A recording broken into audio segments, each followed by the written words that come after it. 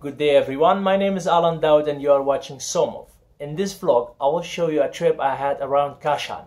Usually I don't do trips, but this one was quite fun. Check it out.